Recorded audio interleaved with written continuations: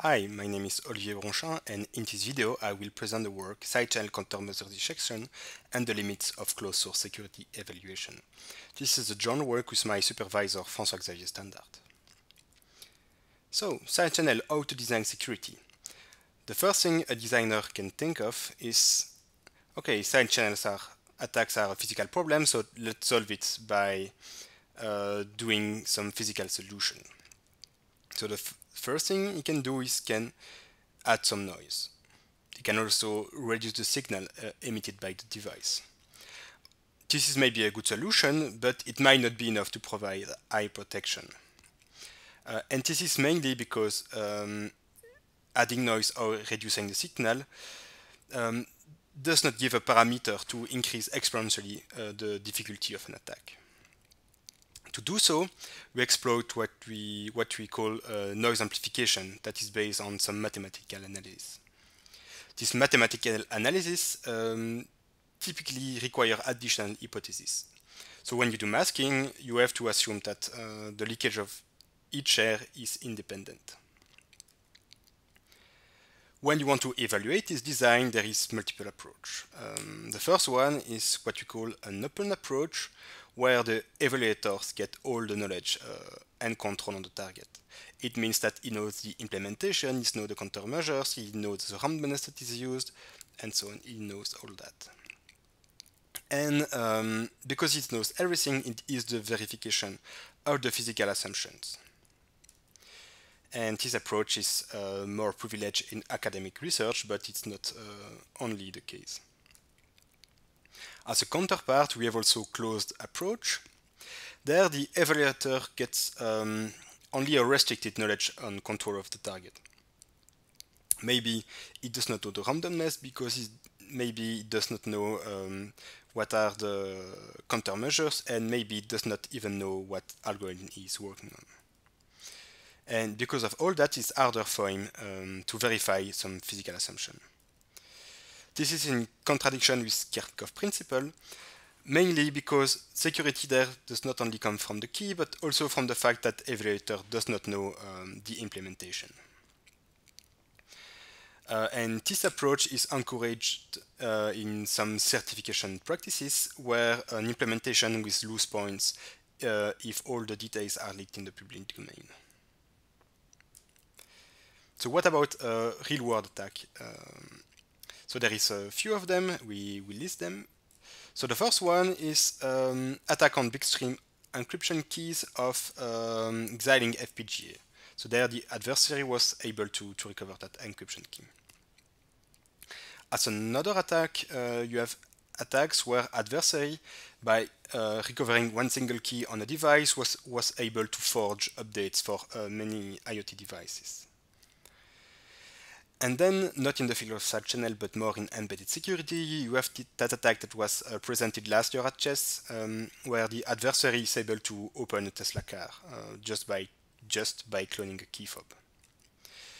All these attacks have in common that one, um, you have done a possibly huge reverse engineering, the attack is, uh, is quite straightforward. Um, and this is mainly because all these, um, these examples are not representative of a certified product. To go to more practical security, um, for me, as an academic, I think I lack of some uh, practical relevant example of sound combination of countermeasures. And I was really happy um, when we saw the first step that ANSSI did uh, in that direction uh, when they published an open source protected AES. Uh, so they published um, that uh, AES implementation that is doing encryption and decryption in software on 32-bit uh, MCUs. This implementation is done by a team of experts that have both knowledge in, uh, in industry and in academia. It contains mixed countermeasures that are combined, so that's exactly um, what's, um, what's the focus of this talk. And it also provides some preliminary leakage assessment. Their implementation is not aimed to be certified, it's just there for education. And for education, we will use it um, for three points. The first one is are mixed countermeasures combining well?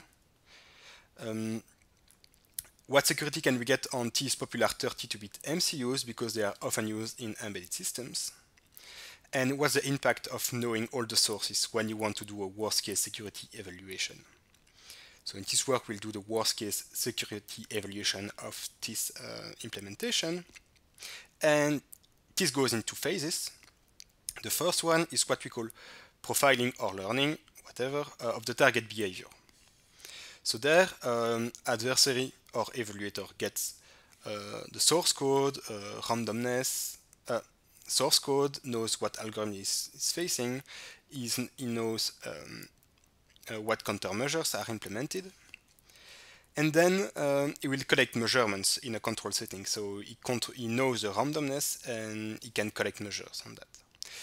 Because of that, he will be able to say, okay, that measurements correspond to that intermediate value, that measurement to that value, and that measurement to that other value. Then he can perform the attack. So is no more in that control setting, so it does not know the randomness anymore, and it can only extract information from the leakage. And he extracts information and then can process it uh, to perform the attack, and as an example, he can do a key recovery attack. So next, we will detail what are the countermeasures within that implementation and how we can run countermeasures dissection on it.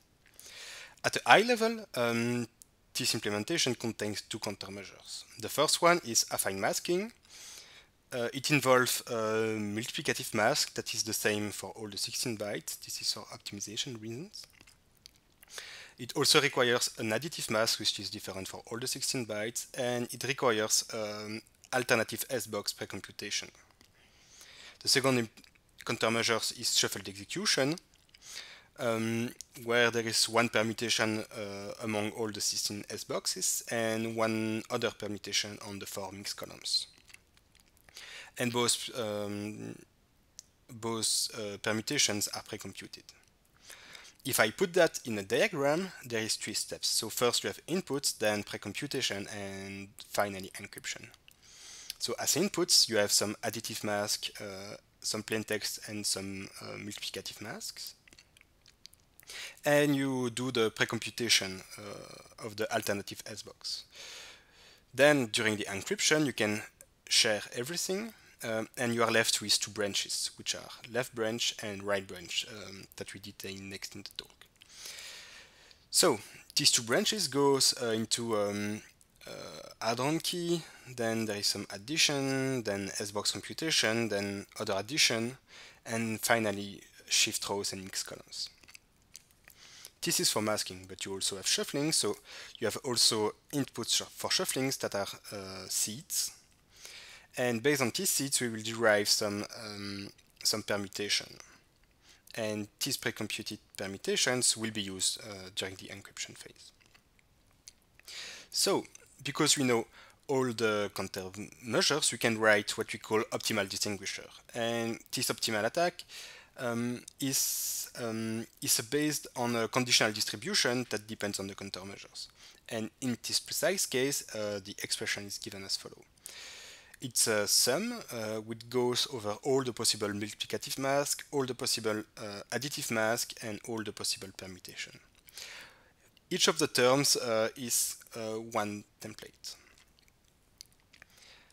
This is optimal, but um, there is one template per combination of possible randomness, so it can rapidly come, become out of reach. And you have to sum on everything, which uh, makes also the attack phase quite slow. So to cope with all that, we have to introduce some hypotheses. So we rephrased the previous equation by assuming some, um, some independence between some secrets. And the expression is given as solo, so you still have a sum on all the possible multiplicative masks and then a sum on all the uh, possible additive masks permutation and then another but not joint sum on all um, the other shares and the permutation. With this equation, we can do what we call countermeasure dissection. So what is it? Is when you want to combine countermeasures, you hope that there will be a multiplicative effect between them. As an example, uh, if you do masking plus shuffling, you hope that information on a share will be degraded because you do um, you do shuffling and then masking will be more effective.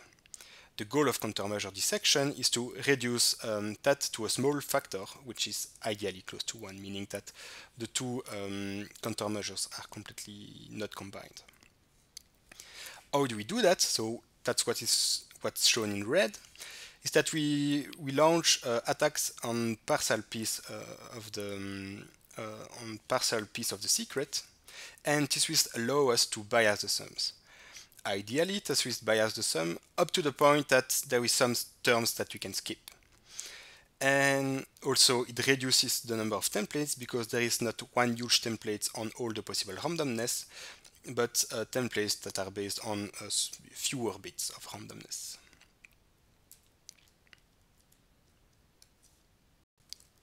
So note that you had all the maths, we can try to extract information. The first thing to do when you want to extract information, for co of course, is to have a measurement setup. So in this work, um, we use the Cortex M4 uh, Atmel. Then we use um, as a measurement point uh, EM probe, and we were using um, a picoscope to sample all that at 1 gigahertz. So first, um, you have to you have to place everything. So we placed uh, the EM probe on top of the package. And then how can we extract information in that setting, uh, taking into account that we are in an open approach. So next, uh, I will illustrate that um, for um, the 2-bit seed that is used to, um, to generate the mixed column permutation. So the first thing to do is to compute SNR. The x-axis there is the time and the y-axis is SNR and it tells you um, where information is located about that seed. So based on that, you can select the point of interest that you will use um, during your attack, but maybe there is like a lot of points, let's say 2000. You would like to work uh, with a bit less dimension, so you train a projection that will reduce uh, this amount of dimension. In this work, we use the PCA, which is um, a profiled uh, dimensionality reduction technique. So you have your PCA, you can project uh, the points uh, by using the, the, PCA, and then you are left uh, with a subspace of three dimensions here. So either dimension of the graph um, is one dimension of the subspace, and each color corresponds to one, um, one possible seed value. And on top of these clusters, you can fit PDF estimation. In this work, we used Gaussian estimation. So then when you run the attack, um, the thing you have to do is that you have to collect um, first one measurement. Then you keep exactly the same 2000 points, you project them against to the subspace, and once you are in the subspace, um, you can estimate probability from PDF. So it means that you will tell, okay, I observe that leakage value, I can tell that there is that probability that uh, that seed value was used. So if I go back to the equation, um, we have we did partial attack on, on all these things, and for the multiplicative mask, we were able to recover it with 100% uh, accuracy given one single trace. And the same goes for um, for the permutations. Overall, it means that we were able to do an almost perfect uh, dissection because um, multiplicative mask was completely ineffective while um, while permutations were almost ineffective.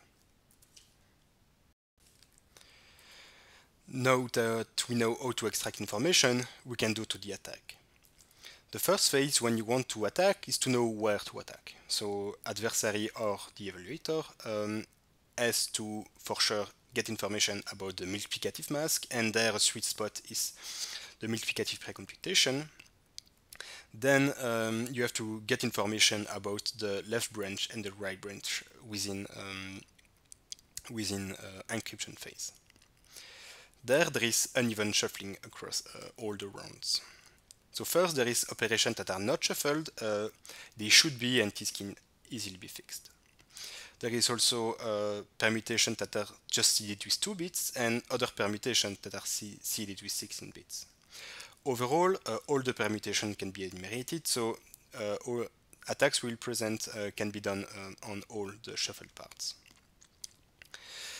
And for simplicity, we focused on the 2-bit seeded permutation. Looking at the attack, we did first um, a divide and conquer, so uh, we did that for the 16 bytes, and on the x-axis you have the number of measurements, and on the y-axis you have the guessing entropy. So the first observation is that when you increase the number of measurements, you decrease guessing entropy.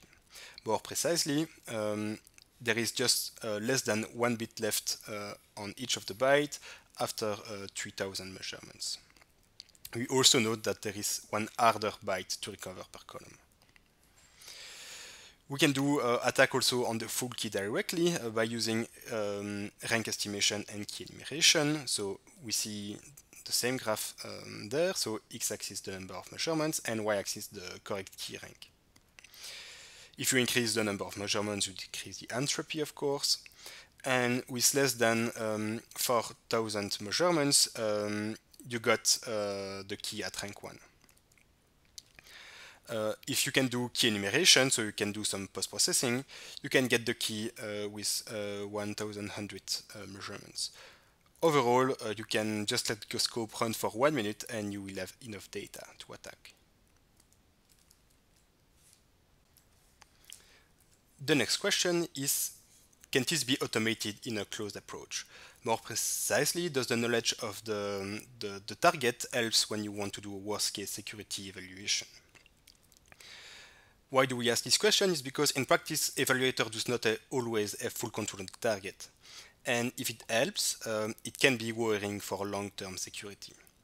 Um, more precisely, if an adversary comes and have a better strategy than the evaluator had, so maybe he had uh, uh, more knowledge about the target, maybe he did more uh, reverse engineering, or maybe he had a, a, better model, he will be able to extract more information than the evaluator, evaluator expected it. And so maybe um, the conclusions drawn by the evaluator are wrong.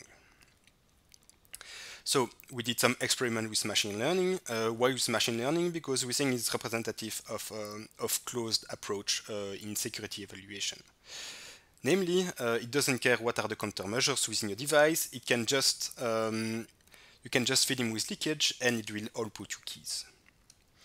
In practice, uh, we instantiate some MLP classifier uh, in the simulated settings we will describe next. The first setting is a standard Boolean masking where there is two shares and each of the shares are leaking um, in Hamming weight uh, plus Gaussian noise. The second simulation setting is uh, affine masking, uh, which is representative of um, previous implementation where there is that left branch, uh, that right branch, and the multiplicative mask. So the right branch and the left branch are leaking with Hamming weight plus noise, while the multiplication multiplicative mask is given in clear to the to the adversary. So the question is um, how does open and closed approach compare in these settings? Once again, on this graph, you have on the x-axis um, the number of measurements, and on the y-axis, you have the guessing entropy. Uh, the blue curves are for um, closed approach, and purple one for um, open approach. Um, dashed line are for uh, affine masking and continuous line for Boolean masking. So how, the, uh, how does this approach compare? First, you observe that for um, uh, open approach, uh, both are equivalent. Main, uh, and for um, black box approach, they are not equivalent. The point is that in an open approach, the adversary knows that uh, he received a multiplicative mask, so he can um, inverse the multiplication and just left with uh, Boolean masking, and that's what we observe there. However, uh, in a closed approach, uh, MLP has to realize that he is receiving a multiplicative mask and that the best solution is to reverse the multiplication. So we can increase the field size and we see that the gap between affine and Boolean masking increases. So it gets harder for him. The point is that learning that multiplication and having uh, MLP uh, doing that is certainly not impossible, but however it looks to be prohibitive. And what should we get worried about learn having a MLP to learn that while it comes roughly in a white box fashion?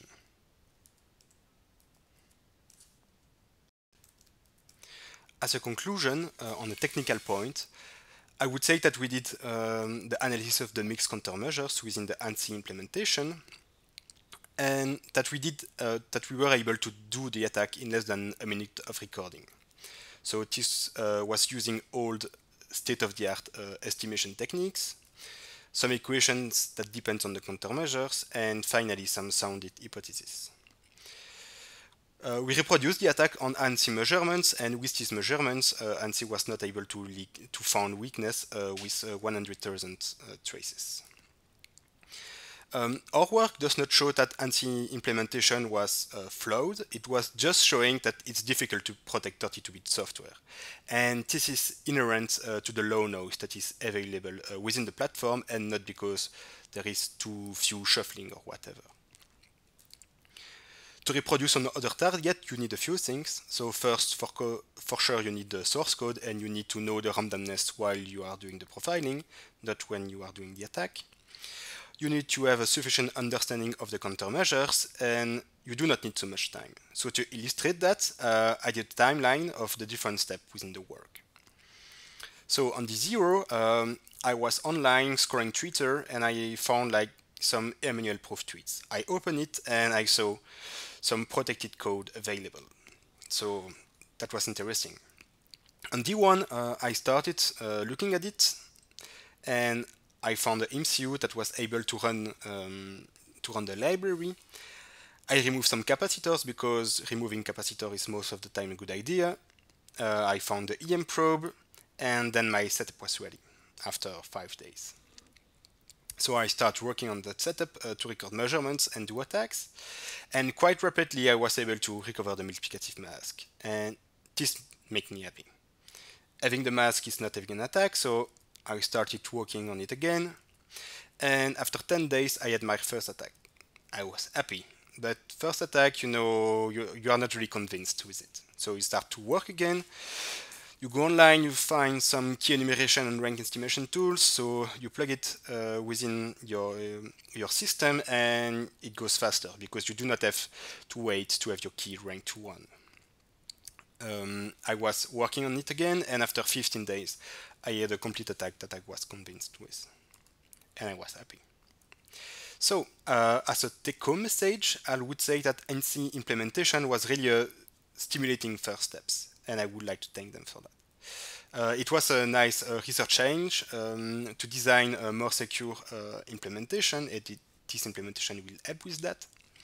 And this implementation should be able to deal with uh, limited physical noise. Thanks for watching this video, and you can contact me to these links.